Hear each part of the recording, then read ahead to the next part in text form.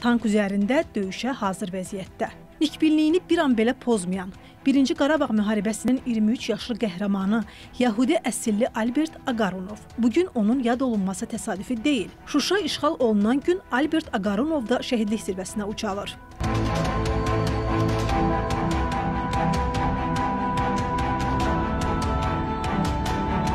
O, 1-ci Qarabağ müharibəsinin ilk günlərindən könüllü olaraq döyüşlərə qatılanlar sırasında olub. Tank komandiri təyin edilən qəhrəmanın döyüş yolu Şuşadan başlayıb.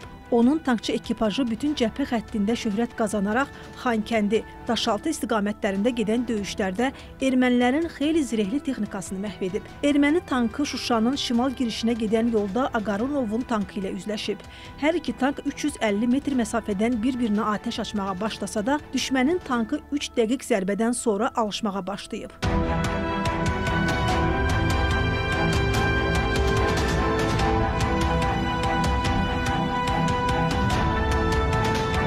Erməni komandiri Qagik Afşaryan özünü tankdan çölə ataraq təhlükədən xilas ola bilsə də, orada olan sürücü və atıcı həlak olub. Hadisə zamanı ağır yaralanan Afşaryan, o əla atıcı idi deyərək Aqarunovun peşəkarlığını etiraf etmişdi.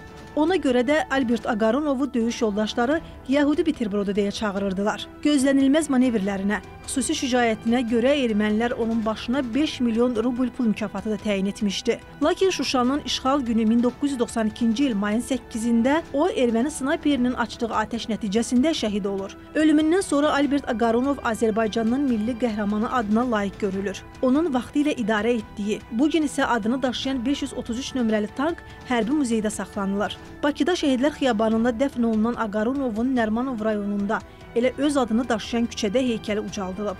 İndiyədək milli qəhrəman haqqında bir neçə sənədli film çəkilib.